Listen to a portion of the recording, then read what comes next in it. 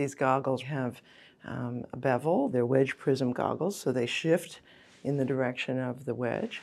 So when Dr. Houston looks through them, he's going to see whatever he sees, and I don't know if you can see that, shifted over toward the direction of the narrow end. Just go ahead and touch the center of your body. So we all have this kind of concept, spatial motor concept, where the where our body is in relation to the environment.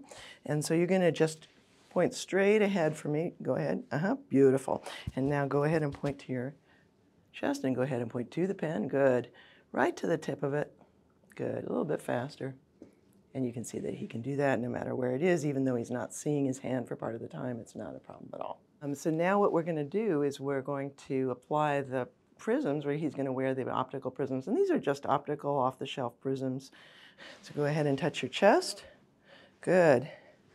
Are your eyes open? Oops, sorry about that. and go ahead and touch the pen rapidly.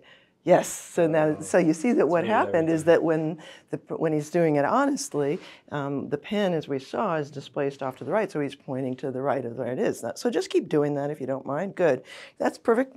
Yep. Keep doing that. Good. That's fine. Keep and then making a little error is what we want to see because what we want to see is he's doing it honestly. Go ahead and do it more rapidly than that if you don't mind. Good. A little bit more rapidly. Good. So what happens as he's using them over and over again is his motor system, spatial motor system, is learning to amp up the leftward movements. Good, excellent, beautiful. After the 10 days, what my group has proposed is that this spatial motor system has amped itself up sufficiently that that will help them with everyday activities. It's actually not completely known exactly why everyday activities do seem to get better. And what Dr. Houston and I do in, in this study, but also in our clinical practice, is actually watch people perform everyday activities like washing their face and hands, getting dressed, um, you know, finding their personal belongings, navigating around and making turns.